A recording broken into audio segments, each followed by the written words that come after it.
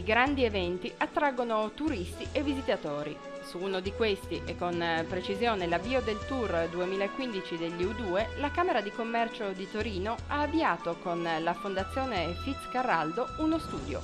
Obiettivo comprendere la ricaduta in termini economici dell'arrivo dei fan in città. Ma in particolare quanti euro hanno speso pro capite i fan del concerto degli U2? Hanno pernottato in città? Quanti e quali musei hanno visitato? Per rispondere ad alcune di queste domande abbiamo ascoltato un esponente della Fondazione Fitzcarraldo che ha condotto lo studio. Tra le auto esposte al Politecnico di Torino in occasione del convegno Il futuro della mobilità sostenibile, anche una monoposto elettrica e alcune innovative auto che saranno utilizzate per il car sharing. Con la primavera hanno riaperto i giardini reali. Dopo anni di chiusura, i torinesi potranno tornare a goderne. A Pasquetta ci sarà la grande festa inaugurale e per i primi due mesi l'ingresso sarà libero, in collaborazione con i volontari del Touring Club.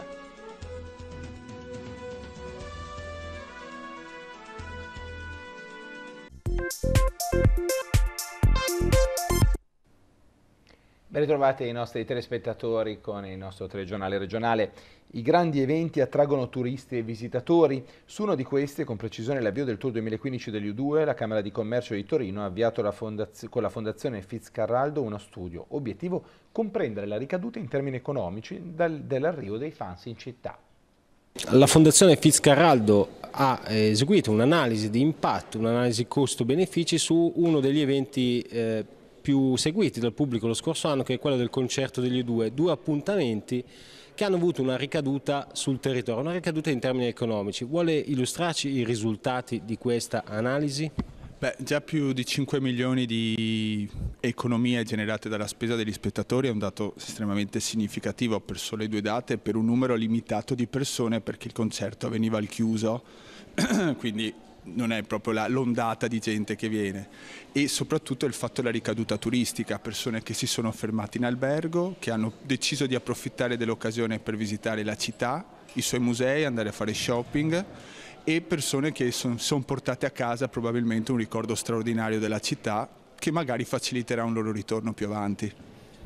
In termini di costi avete calcolato i costi che il settore pubblico anche ha dovuto sostenere per l'organizzazione del concerto e invece in termini di benefici, cioè di ricaduta positiva, quanta spesa ha fatto ogni spettatore eh, per il soggiorno qui per seguire il concerto e il risultato qual è stato? Ma allora dipende dalla provenienza, chi era del Piemonte stava qui in giornata, spendeva, abbiamo calcolato intorno ai 38-40 euro perché era un mordi e fuggi. Poi si va a salire fino ai grandi spender che sono i turisti stranieri che sono arrivati anche a spendere sui 250-300 euro al giorno, dovuti principalmente alle spese di pernottamento in albergo che in quei giorni erano molto elevate, è stato calcolato intorno al 40% in più rispetto alla stessa data dell'anno precedente, quindi dei dati eh, estremamente significativi da quel punto di vista. In termini assoluti sono stati più di 5 milioni gli euro che in totale sono ricaduti sul territorio. Sì, 5 milioni e 300 mila euro come ricaduta. Mentre i costi? I costi della produzione dell'evento dell non li abbiamo completamente perché comunque l'evento era organizzato da una società esterna, Live Nation, e però per quanto riguarda i costi rimasti a Torino siamo intorno ai 300 mila euro. Ecco, ma in particolare quanti euro hanno speso pro capite i fan del concerto, hanno pernottato in città, quanti e quali musei hanno visitato? Per rispondere ad alcune di queste domande abbiamo ascoltato un esponente della Fondazione Fitzcarraldo che ha condotto lo studio. La Camera di Commercio, con in questo caso la, la, Fondazione Fitzcarraldo, ha avviato un processo di indagine su un settore particolare, cioè su, sul settore eh, dello spettacolo e su quale ricaduta ha avuto un concerto degli U2 eh, lo scorso anno in termini economici sul territorio di Torino.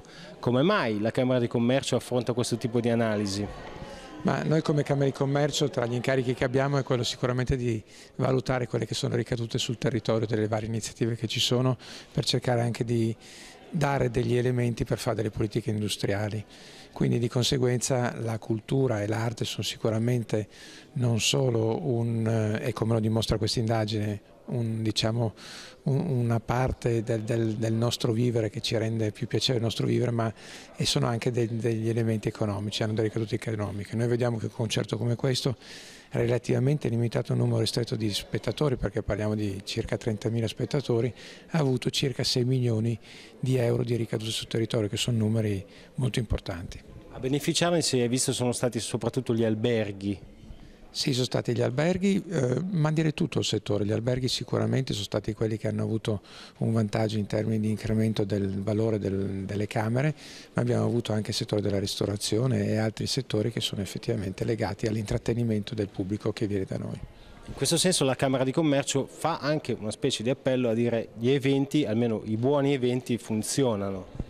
Sì, sicuramente sì, io credo che il nostro scopo quando parlavo di politica industriale è proprio quello di cercare di aiutare chi ci governa a, a, delle, a, prendere delle decisioni coerenti in questo senso. Pensando prima al discorso della spesa mi fa piacere ricordare che le persone che sono venute dall'estero hanno speso circa 300 euro a testa al giorno durante il, loro soggiorno, che è una cifra importante che dimostra che sono anche ben disposte nei, nei confronti di, di, di una spesa importante e quindi delle ricadute sul territorio.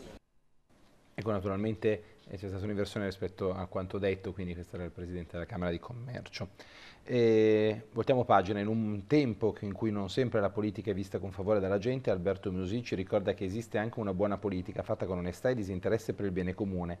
Così il sindaco di Torino Fassino ricorda il consigliere comunale avvocato ucciso in un agguato il 21 marzo 2012, al quale è stata intitolata oggi la sala matrimoni del municipio. Alla cerimonia, oltre alla moglie Angelica e alla sorella Antonella, hanno preso parte i presidenti del Consiglio Comunale regionale e numerosi consiglieri della Sala Rossa che, ricorda Porcino, hanno fortemente voluto questa intitolazione attenzione, un gesto sentito e doveroso verso un collega stimato e apprezzato esempio di correttezza e di onestà. Questa è una sala importante nella vita della città, ha detto il sindaco, che ricorda le qualità umane, lo spessore intellettuale, la dedizione di Alberto che aveva la capacità di interloquire con tutti noi, eh, sempre animato da uno spirito laico e liberale, senza pregiudizi, sempre teso a cercare una soluzione ai problemi che fosse condivisa. Un uomo conclude che ha dedicato la sua vita alla città con straordinaria passione e, e, e disinteresse personale, naturalmente. Voltiamo pagina, tra le auto esposte al Politecnico in occasione del convegno Il futuro della mobilità sostenibile, anche una monoposto elettrica eh, per gli studenti e alcune innovative auto che saranno utilizzate per il car sharing. Oggi qui nel giorno della promozione della mobilità sostenibile al Politecnico viene anche descritto come funzionerà questo servizio e fondamentale sarà rispetto al passato ricaricarle queste auto. Sì, vanno sempre alla fine del, del noleggio, l'auto la, va ricaricata, ossia viene collegato un cavo nello sportellino, quello che noi ricordiamo per la benzina, oltre alla ricarica viene effettuato anche un check-in immediato della macchina, ossia la macchina viene collegata ad un call center questo call center, questo mm, grande centro di controllo è tutto quello che vi, ci può servire per capire se la macchina è disponibile, se la macchina è affittabile, se la macchina ha subito qualche problema e soprattutto quando appena la agganciamo ci, smette di, prenderci, di prelevarci i soldi dal, dal, pagamento della carta di credito. Stanno per essere allestite delle colonnine e quante auto saranno a disposizione dei torinesi? Attualmente non abbiamo ancora la specifica per poterlo, per poterlo dire. Comunque il discorso è prettamente sulla capillarità, quindi moltissime colonnine in modo tale da poter allargare il servizio a più utenti possibili e che sia il più comodo possibile. Logicamente ogni colonnina avrà delle auto, a tot colonnine corrispondono tot auto. Rispetto al passato c'è qualche differenza per un cittadino che voglia usufruire di questo servizio? L'innovazione è la durata della batteria. La batteria ha una durata garantita di 10 anni. Il, la ricarica è un'auto elettrica, completamente elettrica e all'interno ci sono dei servizi come il, il call center attivo 24 mentre noi stiamo guidando basta schiacciare un tasto e siamo seguiti per qualsiasi problema dell'auto. Quel tasto sotto il triangolo del, di emergenza. Qui eh, al Politecnico in occasione della giornata della mobilità sostenibile c'è anche un prototipo, un prototipo che adesso uno studente del Politecnico ci aiuterà a capire come funziona e perché è stato costruito. Sì, questa è la SCXV, la nostra terza macchina elettrica della squadra corse del Politecnico. È una monoposto elettrica da Formula Student a trazione integrale, ha un motore per ruota, è la prima macchina in Italia di questo tipo una monoscocca interamente in fibra di carbonio e alluminio anido d'ape e un pacchetto aerodinamico completo sempre in fibra di carbonio. Che velocità può raggiungere? Intorno ai 120 km all'ora. È un'auto molto innovativa, apre, apre, le porte eh, al mondo lavorativo, agli studenti, si imparano molte cose e per la prima volta al Politecnico si, eh, si mette in pratica quello che si studia ogni giorno. Riaprono a Torino dopo, 30, dopo no, parecchi anni, in realtà non così tanti, però insomma dopo sicuramente parecchi anni, i giardini reali, lo spazio verde che fa parte dei musei reali. All'indomani del riconoscimento dell'UNESCO, del Parco del Po, viene così restituito alla città un pezzo del suo territorio, detto Fassino, secondo cui tutte le istituzioni nazionali e locali hanno ormai colto l'importanza del rinnovamento.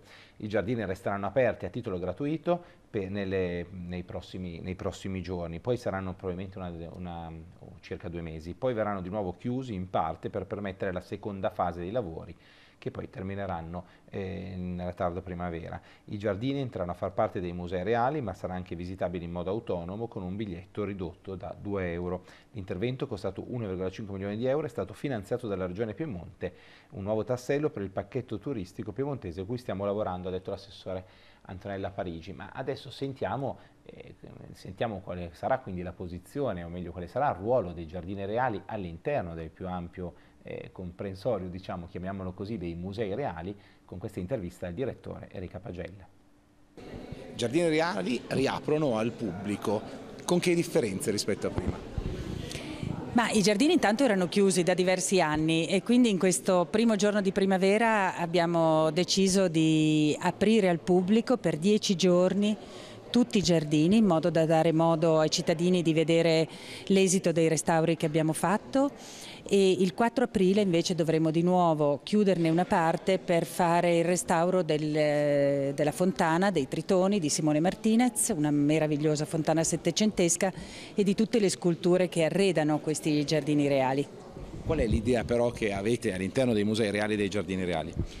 Ma i giardini reali sono una meraviglia, una risorsa incredibile. Intanto eh, non è solo un tema di natura ma anche un tema di architettura perché i giardini sono la vera prospettiva da cui si riesce a capire il grandioso progetto della residenza reale e poi naturalmente sono una risorsa di natura perché hanno eh, alberi, eh, ipocastani, platani ma anche alberi meno noti come il noce nero che fa delle bacche profumatissime ehm, e diventeranno progressivamente il vero mh, cuore dei musei reali, il centro di snodo tra tutte le diverse collezioni che si addensano intorno a questa anima verde, diciamo.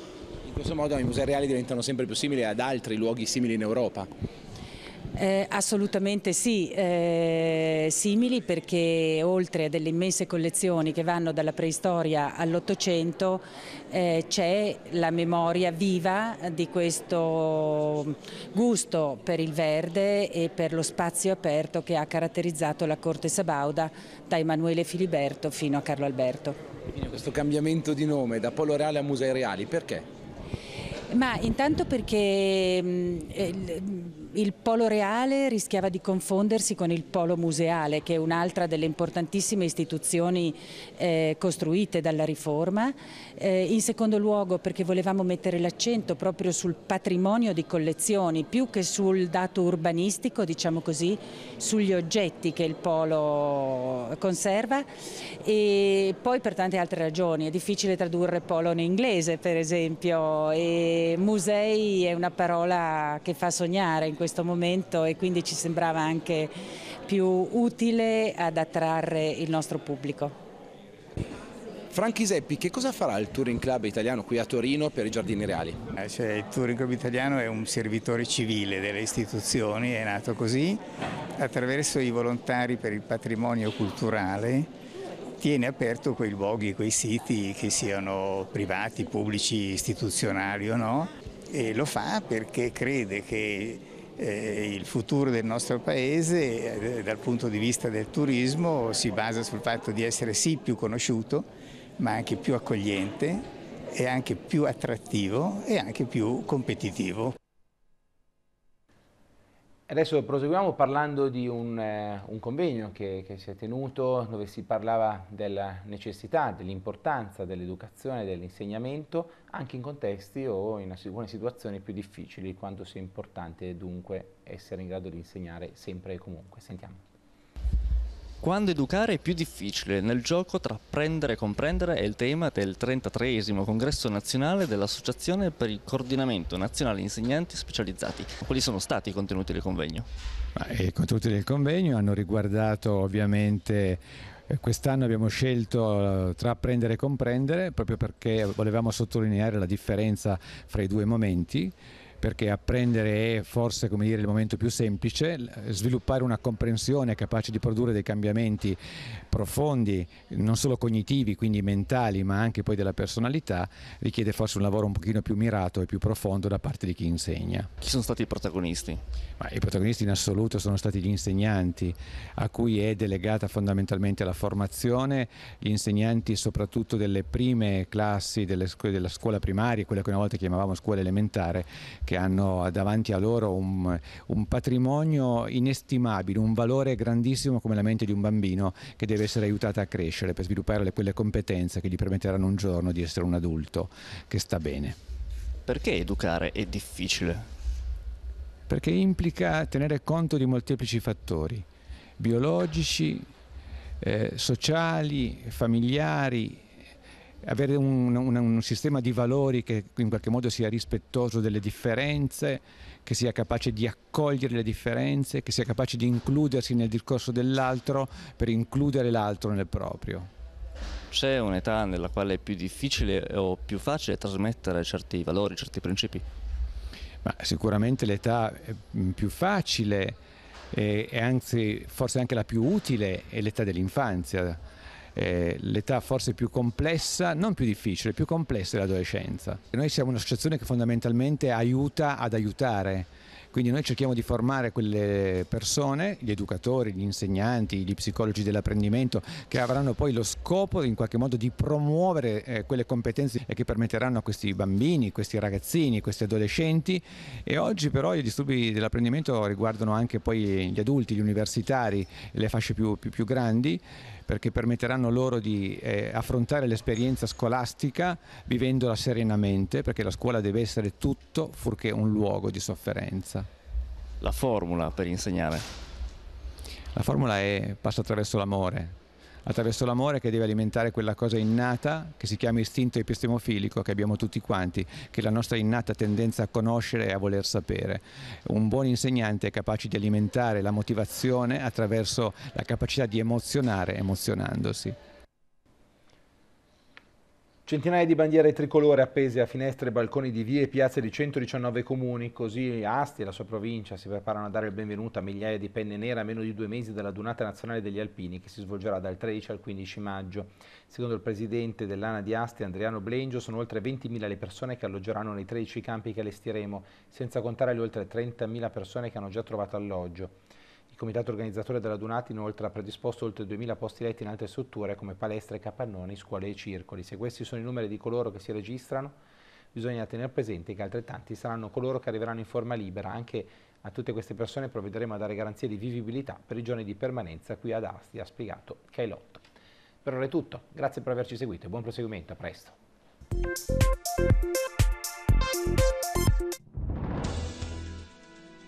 I grandi eventi attraggono turisti e visitatori. Su uno di questi e con eh, precisione l'avvio del tour 2015 degli U2, la Camera di Commercio di Torino ha avviato con la Fondazione Fitzcarraldo uno studio.